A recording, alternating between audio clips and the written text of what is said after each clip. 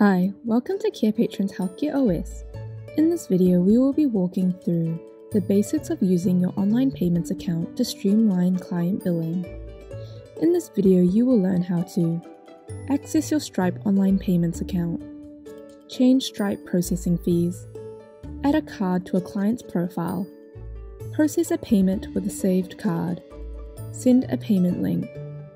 Firstly, to access your Stripe online payments account, navigate to the billing settings page.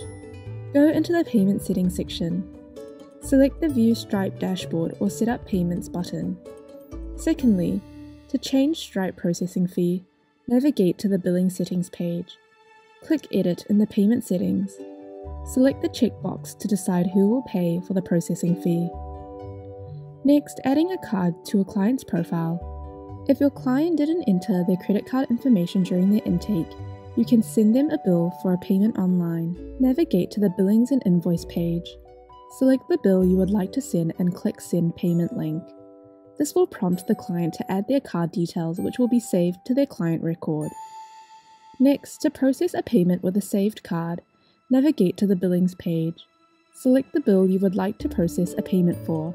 Select the Add Payment button and click Pay. Next, to send a payment link, follow these steps. Navigate to the Billings and Invoices page. Select the bill you would like to send.